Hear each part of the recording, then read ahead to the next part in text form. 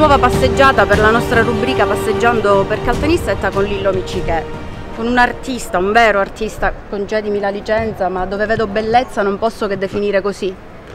No, non sono d'accordo perché l'artista, io sicuramente non sono artista, sono semplicemente una persona che ama la fotografia, una persona che da 40 anni circa dedica il suo tempo insomma, a questa passione che, eh, che mi permette un po' di raccontare ciò che vedo.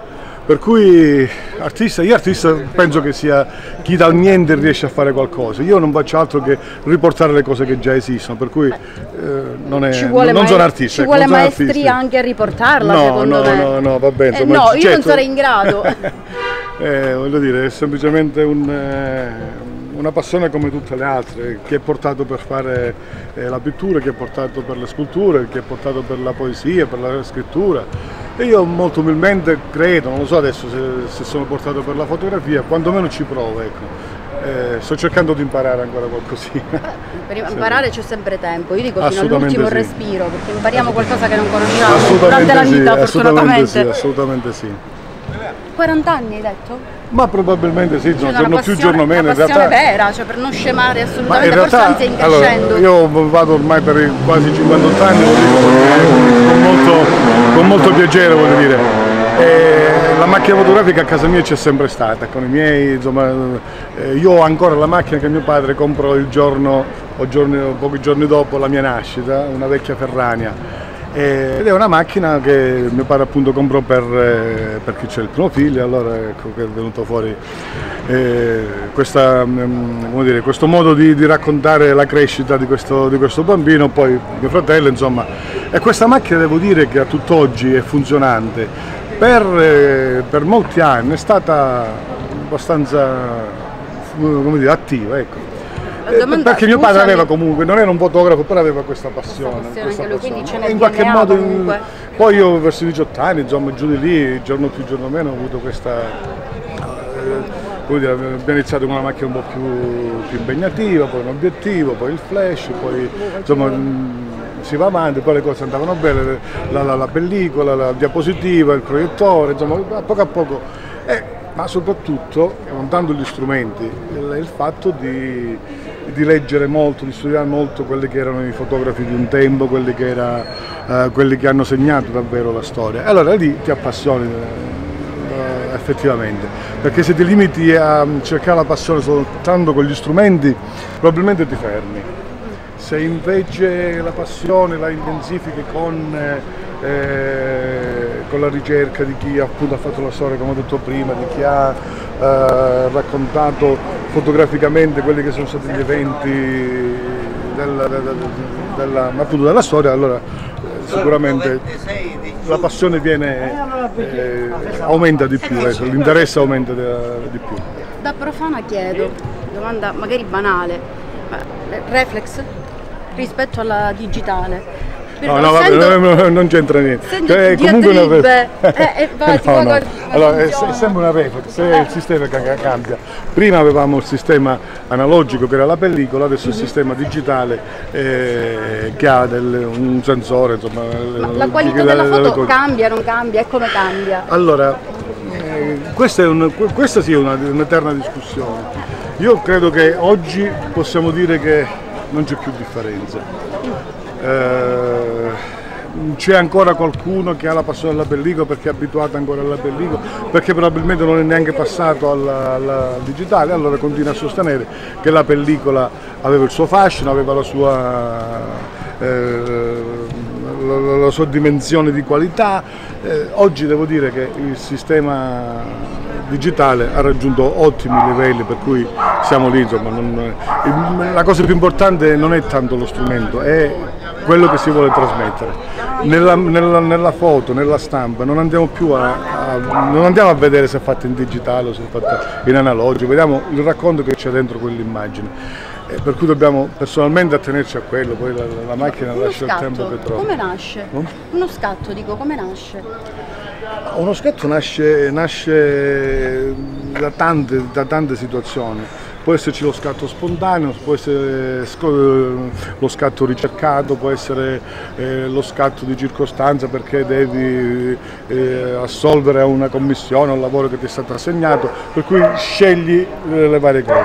Se esci, non scegli, voglio dire, fai quello che è legato alla, alla richiesta se scegli quello che è diciamo, la spontaneità, e quello fa parte un po' del tuo animo, perché comunque devi trasmettere quell'emozione che ti può dare eh, il soggetto, l'oggetto che in quel momento stai, stai inquadrando, stai vedendo, no? lo percepisci con gli occhi siccome hai quel minimo di sensibilità un po' per abitudine, un po' per natura personale, allora ti accorgi che eh, c'è qualcosa che, che, funziona e allora prendi la macchina fotografica, tac, e, e mi sembra, mi sembra di capire che sono gli scatti che preferisci. Sì, sicuramente sì, perché gli scatti eh, commissionati di, di, circostanza hanno degli standard, dei canoni per cui devi seguire, eh, se sono foto di architettura, se sono foto eh, celebrative di qualcosa, allora in quel caso devi eh, attenerti. Anche se un pizzico di, eh, chiamiamola tra virgolette, follia, nelle foto canoniche, allora probabilmente viene fuori anche qualcosa di grazioso.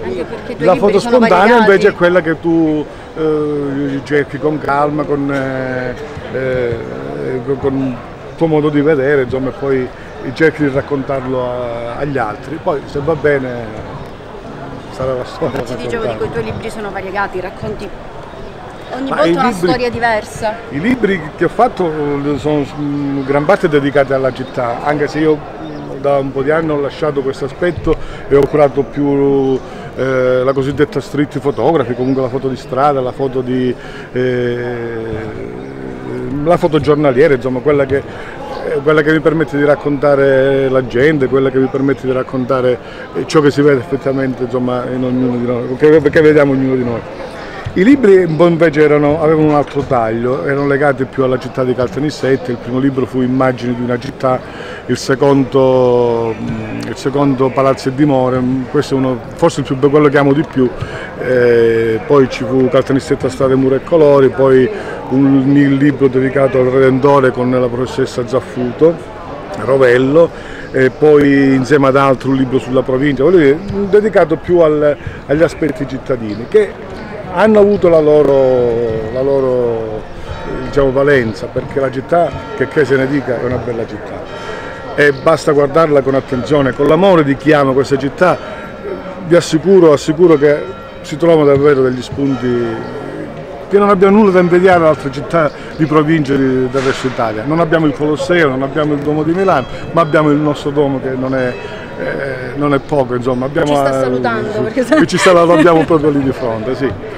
Eh, abbiamo, noi dovremmo cambiare un po' forse nei confronti della città un po' la mentalità, eh, amarla per come diciamo sui social che, che l'amiamo così solo per scriverlo, ma dovremmo amarla invece eh, direttamente vivendola e stando a contatto con la città e non pensando che debbano essere gli altri a fare le, eh, come dire, a sistemarla, a modificarla, dobbiamo essere ognuno di noi a dare il nostro contributo per renderla sempre più gradevole. Professore, una frase fatta, l'unione fa la forza, sem, sem, Sembra una frase fatta, sì, però dico, a me è capitato più volte di ospitare amici, fotografi di altre città, insomma, di altre, da fuori eh, dalla Sicilia, anche da fuori dalla Sicilia, e tutti mi dicono che è bella, è una città davvero, eh, beh, è piacevole vedere la, la, città, è gradevole, qualcuno questa parola non piace, ma io la uso con, eh, perché effettivamente è gradevole, stare in città non è una cosa Gradevole non è una brutta parola, non, anzi oggettiva. Sì, sì, non, qualcuno mi ha, mi ha contestato, anzi, ma insomma